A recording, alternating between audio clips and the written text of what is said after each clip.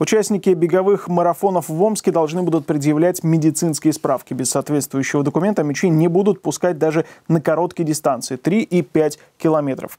Об этом в Международном пресс-центре МКР Медиа рассказали представители Минздрава и организаторы спортивных мероприятий. Такие требования объясняются изменениями в федеральном законодательстве. Направление на медицинский осмотр можно найти на сайте Сибирского международного марафона. Справка действует в течение года и дает возможность участнику получить допуск на все забеги. Отмечу, что 21 мая в Омске состоится весенний полумарафон. 13 июня пройдет цветочный забег специально для представительниц прекрасного пола. Ну а 5 августа в Омске стартует Сибирский международный марафон.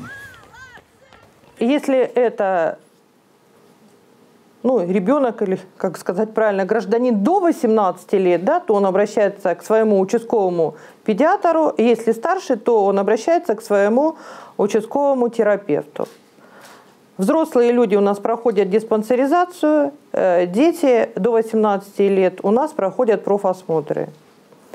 На основании профосмотра или диспансеризации, которые пройдены в течение календарного года, участковый терапевт либо педиатр на основании осмотра выдает пациенту справку.